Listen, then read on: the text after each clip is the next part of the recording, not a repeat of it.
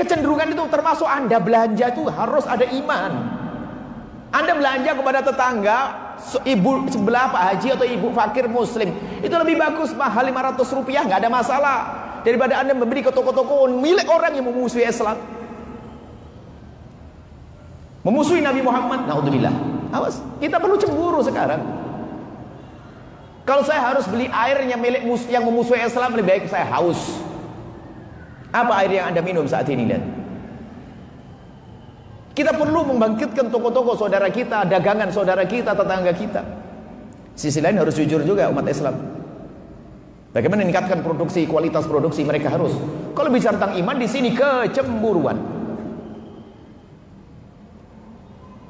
Nah ini kecemburuan kita dengan saudara kita. Hari ini bang apa yang terjadi di Myanmar, di Palestina, di Syria, di Palestina. Siapa yang merangi Palestina? Orang meremehkan dengan kitab namanya Taurat. Taurat sudah dirubah. Ahli kitab, orang Yahudi memerangi. Dari mana dana mereka? Dana mereka adalah sumbangan patungannya kaum muslimin di dunia. Mereka komunitasnya sedikit. Mereka tidak punya mesin mereka tidak punya mesin uang kecuali di saat mereka meletakkan usaha-usaha di tempatnya kaum muslimin. Produk-produk yang disebarkan ke penjuru dunia yang membeli adalah kaum muslim, Pak Haji dan Ustadz. Itulah keuntungannya untuk biaya mereka. Maka kalau anda salah belanja, sebetulnya anda memerangi saudara anda kalau anda tidak punya kesadaran. Maka sadar belanja itu penting. Dan kami menghimbau kepada semua ustadz harus berani menyampaikan yang demikian ini.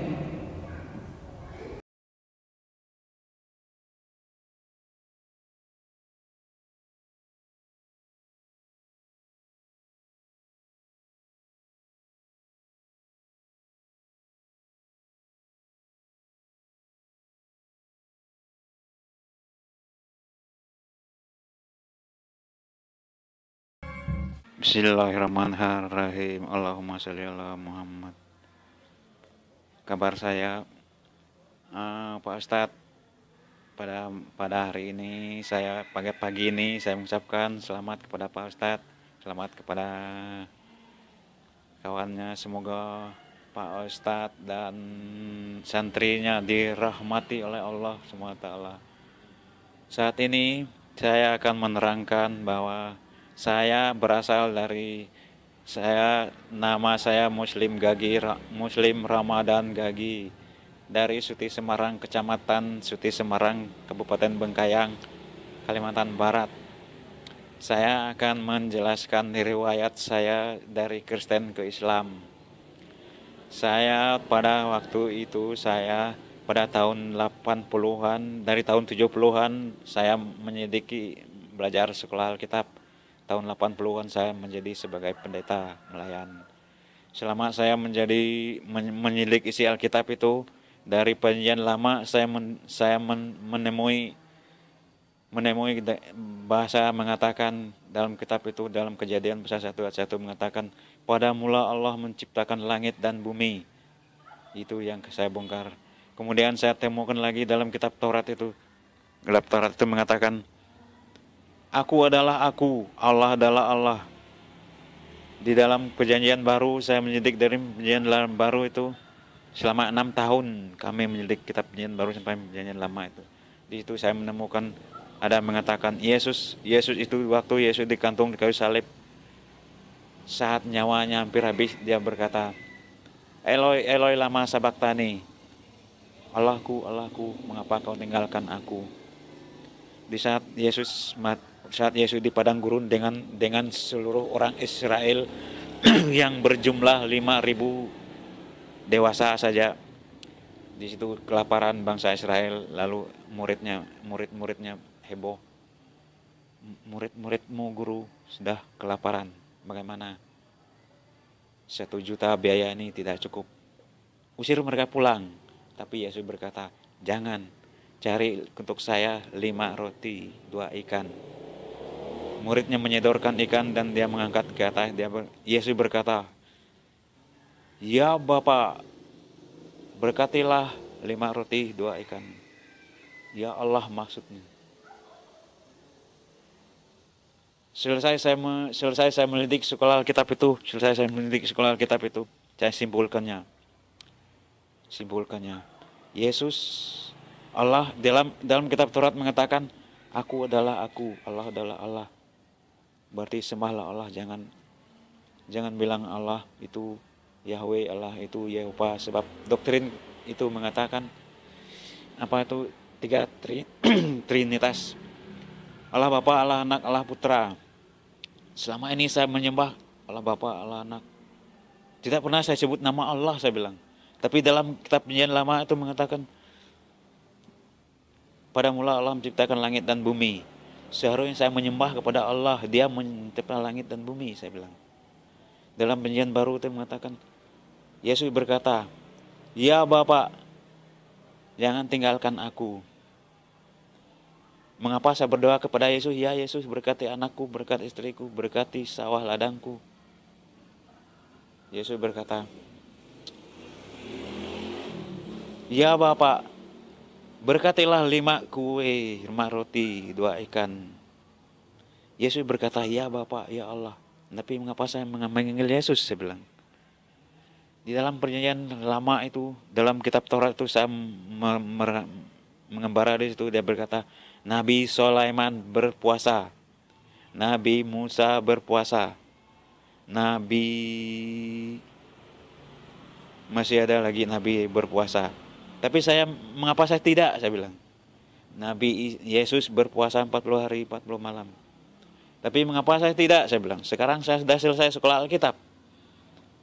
Saya tidak pernah menjalankan ini.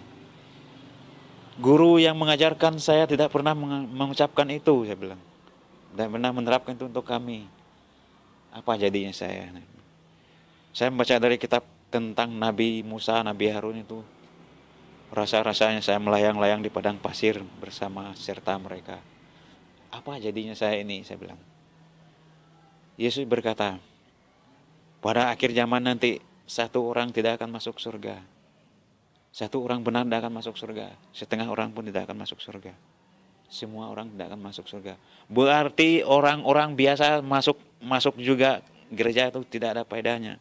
Berarti saya berdoa selama itu kepada Yesus tidak ada gunanya di sini menentukan satu orang pun orang benar artinya pendeta, pendeta yang tertinggi sampai ke penginjil tidak bisa akan masuk surga. Sebab di sini mengatakan satu orang pun tidak, satu orang benar pun tidak akan masuk surga, setengah orang pun tidak akan masuk surga. Kalau begini saya bilang, bagaimana caranya? Apa jadinya saya nanti akhir-akhir ini? Di sini tidak jaminan ke surga. Padahal dalam Yesus itu mengata, Yesus mengata dalam kitab Injil lama itu saya dikelabui, saya pikir mereka bilang Yesus mati di salib, tumpah darahnya untuk menebus dosa.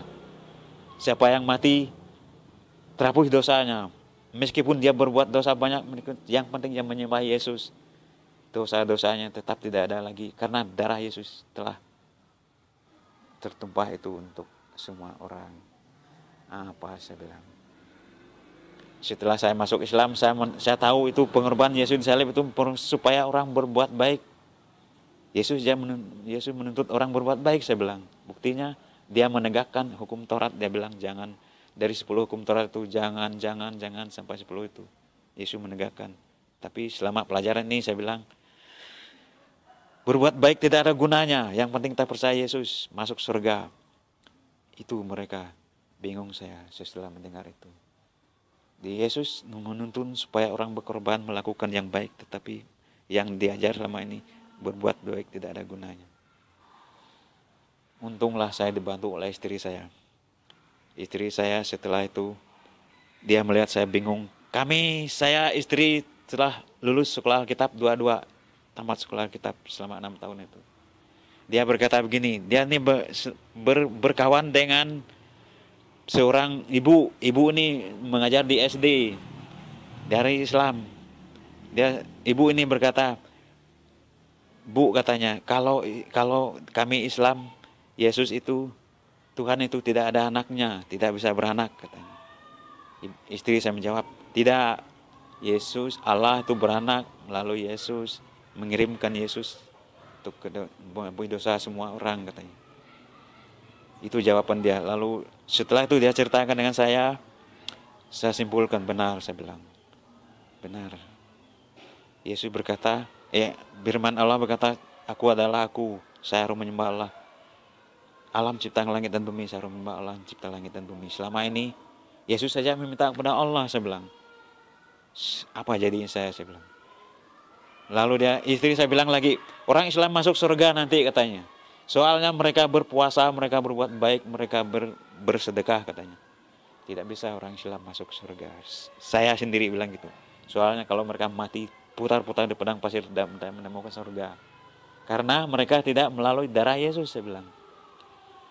Lama-lama itu saya pikir, wah benar ini. Istri saya benar kata-katanya itu.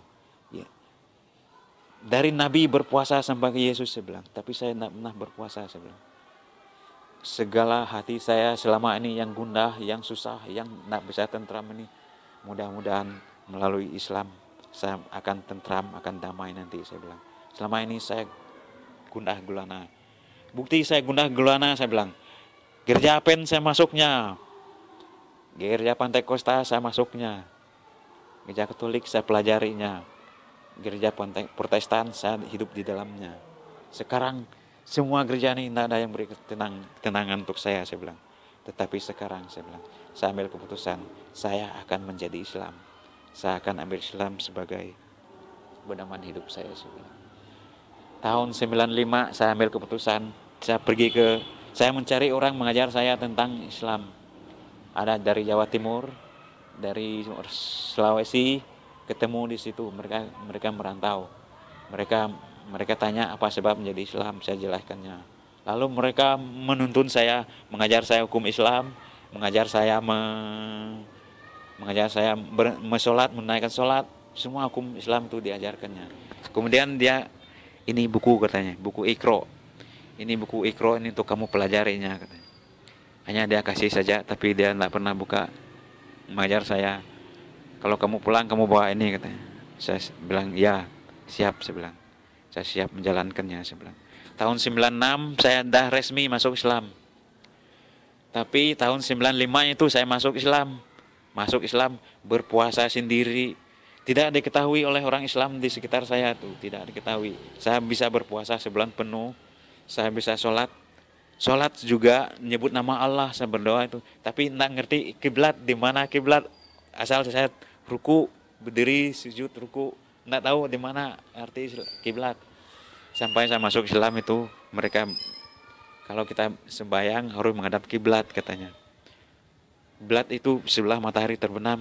Oh, itu karupanya kiblat saya bilang. Baru saya ngerti. Setelah itu saya mas mengerti Islam. Selama saya berpuasa itu ini tahun 96 saya 96 saya resmi tadi. Tahun 95 yang saya berpuasa puasanya itu masuk jam 6 kadang-kadang saya tidak pakai sahur saya puasa itu antam yang penting tidak makan minum dengan nama Allah. Tapi yang yang mereka tertawanya itu waktu di Pontianak itu selesai selesai berbuka itu kalau orang Islam yang resmi itu berbuka puasa itu menggunakan minum, menggunakan bubur, kue waktu berbuka itu. Kadang-kadang saya berbuka tuh jam 7. Bukanya itu pakai segelas segelas arak. Setiap sore sampai 30 hari itu setiap minum arak setelah itu saya sampaikan ini kepada orang Islam yang di, di sekitar saya itu tertawa mereka. saya sampaikan ini di, di Pontianak tertawa. Masa berbuka pakai arak katanya karena setelah saya sudah di, di apa di dis, disahdatkan oleh oleh orang Pontianak dia merantau ke ke Kendai dia sahdatkan saya dia bilang hari ini kamu sudah menjadi Islam yang resmi nama kamu Muslim Ramadan Gagi karena kamu masuk Islam di bulan Ramadan katanya. Karena itu kamu Muslim Ramadan Gagi. Tapi kamu kami pesan jangan minum arak lagi, jangan minum tuak, jangan makan yang haram-haram, makan babi lagi. Waduh, saya bilang kemarin baru-baru ini saya minum arak, saya bilang. Ya saya siap berhenti, saya bilang. Tapi alhamdulillah sekarang dekatnya pun nama ciumnya pun tidak enak lagi. Memang saya jijikkan itu. Kalau kalau di sana 90 di sana 300 kakak hanya 6 yang muslimnya 6 kakak itulah yang di anak bilang kalau kamu selesai dari santri nanti kamu ajar yang enam itu katanya. Ya pesan saya. Jadi saya pamit dengan Pak Ustadz hari ini bukannya sam bukan sampai di sini saya belajar. Saya sudah masuk Quran selama ini. Bukan sampai di sini saya belajar setelah saya pulang. Tapi di sana nanti saya terus terus terus teruskannya saya akan minta Ustadz lain dukung lah supaya saya lancar bahasa Quran. Itu saya pesan nah, saya kasih tahu Bapak dan santri di sini. Setelah itu saya menerima pesan-pesan dari mereka itu jangan lagi jangan jangan jangan saya terus ingat sholat lima waktu puasa sampai sekarang saya menerapkan itu. Mudah-mudahan saya terus terus terus terus. Semudah-mudahan saya makin tebal makin tebal Islam saya insya Allah. Hanya inilah yang saya ucapkan. Sekarang bagaimana bacaan Quran? Bapak apakah ada peningkatan dari sebelum sini atau? Alhamdulillah. Alhamdulillah. Waktu Pak Ustadz yang yang mengkoreksi, yang bimbing saya waktu itu agak tersendat-sendat, agak susah, tetapi alhamdulillah akhir-akhir ini mulai lancar, mulai mulai mudah rasanya. Insya Allah mudah mungkin terus lagi nanti. Berarti sekarang sudah bisa membaca tinggal melancarkan. Ya melancarkan. Kalau mau tanya yang lain lagi, saya siap jawabnya.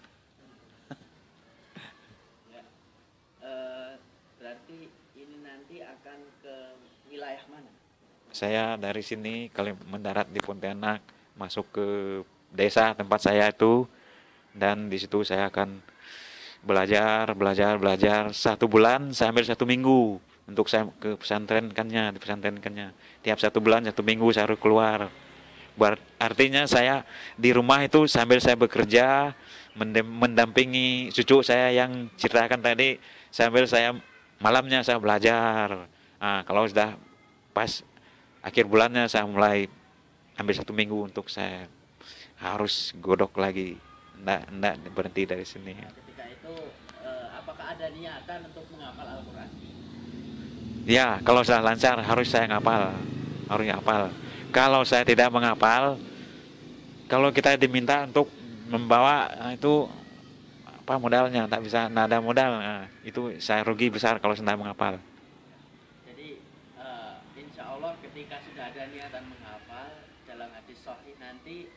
ketika seorang muslim menghafal dengan sungguh-sungguh Al-Quran lalu dia meninggal saat menghafal malaikat akan membantu dia menghafal di alam kubur Alhamdulillah. Dia menjadi diangkat sebagai orang yang hafal Quran di hari kiamat.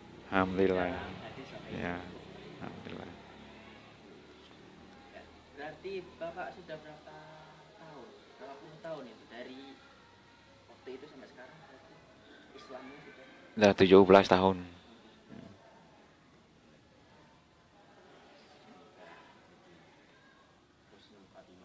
Iya, amin. Lalu apa yang Bapak rasakan setelah masuk Apanya? Apa yang Bapak rasakan setelah masuk Yang saya rasakan alhamdulillah luar biasa.